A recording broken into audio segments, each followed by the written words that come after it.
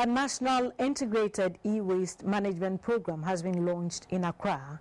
The launch paves the way for the construction of an e-waste recycling facility at Agbogbloshie, which is expected to end the indiscriminate disposal of electrical and electronic waste in Ghana.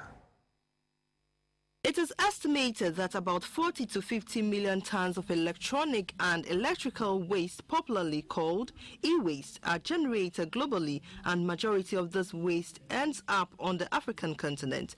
E-waste contains dangerous chemicals that are injurious to human health, specifically causing kidney and lung cancers, among others. Government has been initiating strategies to deal with the e-waste, hence the Hazardous and Electronic Waste Control and Management Act 917.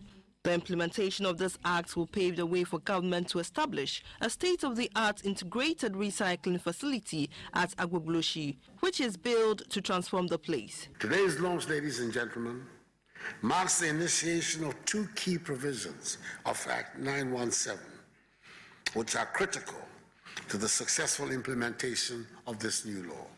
First is the designation of the external service provider, i.e., SGS, to verify, assess, and collect the advanced recycle eco fee on all electrical and electronic equipment under the fifth schedule of Act 917, imported from all exporting countries.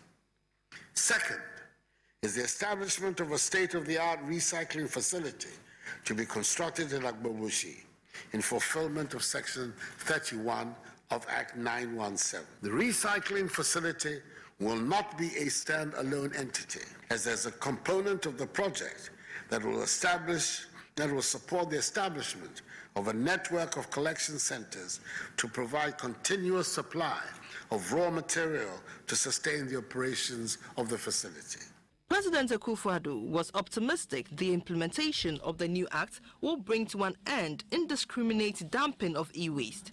President Akufo-Addo tasked all stakeholders to take advantage of the new e-waste management system. With the implementation of this program, and as per the provisions of Act 917, I urge all non-governmental organizations and international partners such as KFW and GIZ who are engaged in e-waste programs to synchronize their activities with the Ministry of Environmental Science, Technology and Innovation and the Environmental Protection Agencies. The construction of the ultra-modern recycling plant, which will begin in October this year, is expected to take 18 months to complete. The government is partnering with various stakeholders, including the private sector, to deal with the dumping of electronic waste.